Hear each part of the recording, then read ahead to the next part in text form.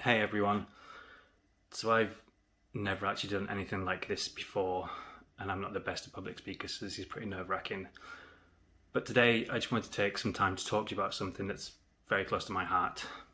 And I could have just written something, I could have just put a picture on, but I didn't feel like that would be enough or that would do it justice. Today is December the 1st, and today is World AIDS Day. I believe that it's a day that everyone, not just those in the LGBT community, but everyone around the world, should take a moment to look back.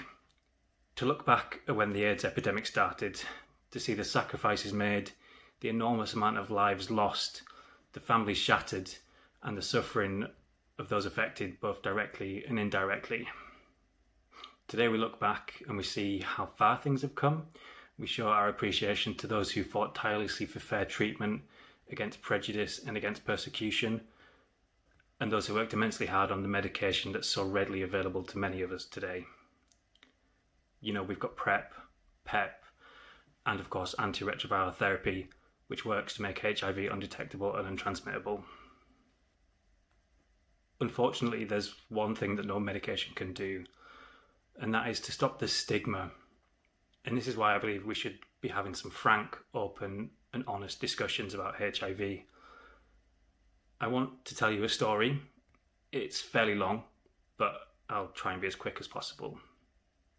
Back in 2011, at the age of 24, I came out after years and years of knowing that I was gay.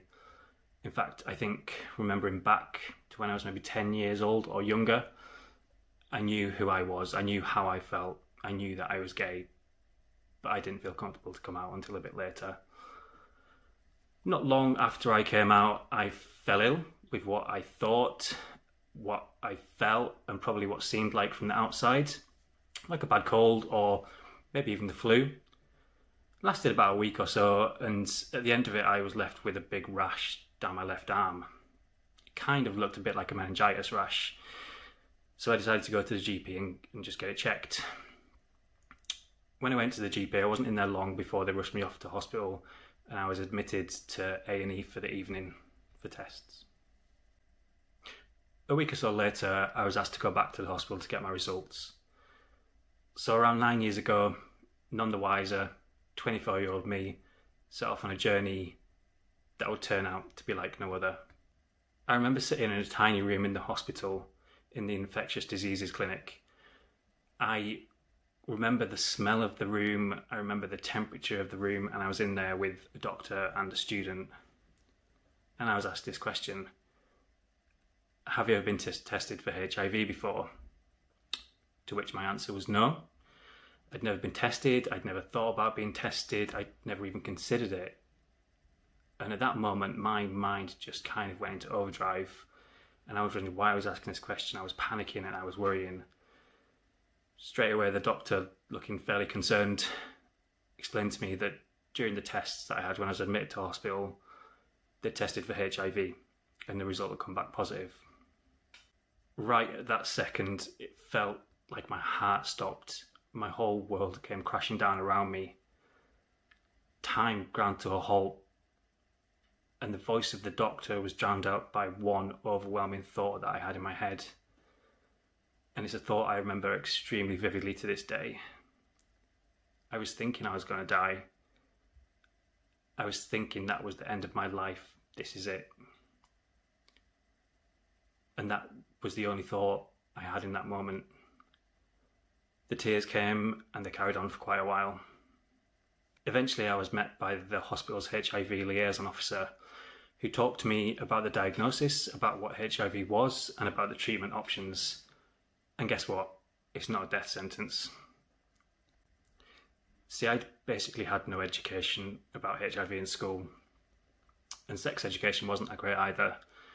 But I remember the Tombstone advert, and I still remember the talk about AIDS in the playground at school. And I remember kids running around saying, Don't touch that person, they've got AIDS. I remember all the jokes, and I remember all the insults, and I remember it all pretty clearly. But HIV cannot be passed on by touching someone or by kissing someone. and it definitely can't be passed on by playing Tig in the playground. And the thing is, I know that there's still stigma around HIV. It still exists. And to be honest, sometimes I still get scared to talk about it because of this. It's a hard thing to talk about, and sometimes I believe it's quite a hard thing to hear too. Nine years ago, I was diagnosed as being HIV positive.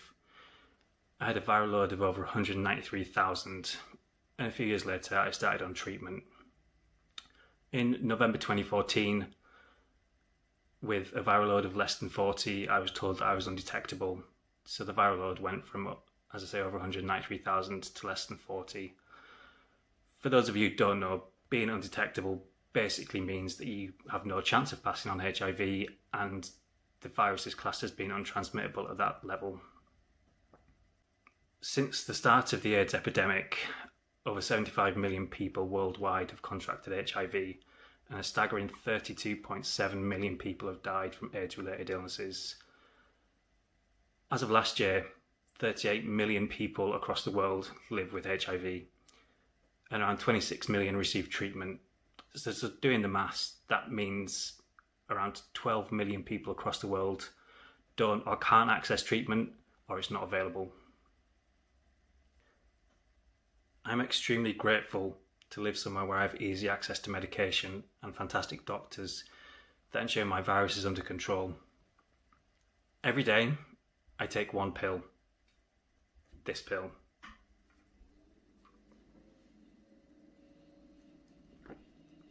And it keeps me alive.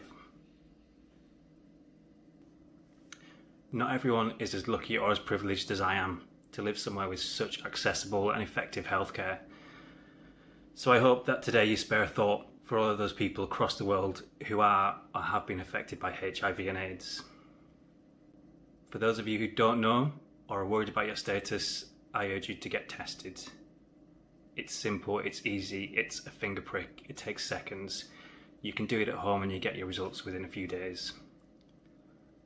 I know it's easy for me to say this, but don't worry about the result. My clinic number is 3145, but I'm not a number. I'm Matt, I'm 34 years old, and I'm HIV positive. Every day, I thank my doctors, my family, and my friends who've been there for me, supported me through the dark times and times when it felt like there was no hope.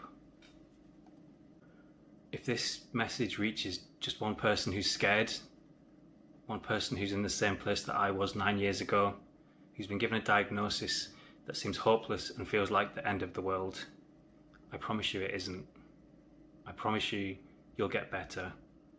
You're not alone, and you are, and you will be loved regardless of your status. I want to encourage more of you out there to share your stories with friends, with family, with the world. Let's work together and let's fight the stigma around HIV.